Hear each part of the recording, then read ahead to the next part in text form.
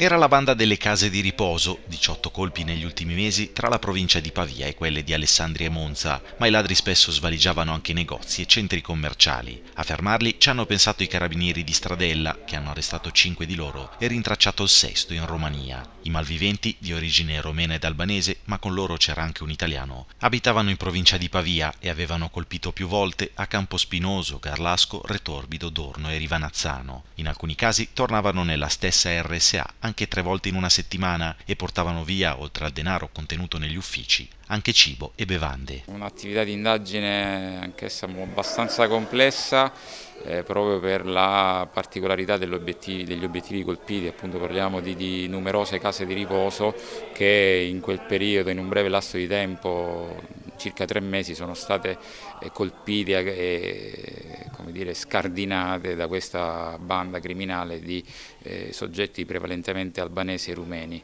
eh, tra i quali anche un italiano. Eh, un'operazione che, che ha permesso di bloccare queste azioni abbastanza eh, deprecabili. Il bottino variava da colpo a colpo, da poche centinaia fino a diverse migliaia di euro. Quattro dei cinque arrestati di età compresa tra i 20 e i 40 anni. Da alcuni mesi si erano trasferiti in altre province italiane perché consapevoli di essere nel mirino degli investigatori. Il blitz che ha portato al loro arresto nasce infatti dall'operazione Vampiri, che aveva sgominato altre due bande di ladri che operavano in provincia di Pavia nasce da una precedente attività investigativa, quella denominata Vampiri, che già l'anno scorso aveva permesso di smantellare due organizzazioni criminali che erano dedite ai furti in abitazioni.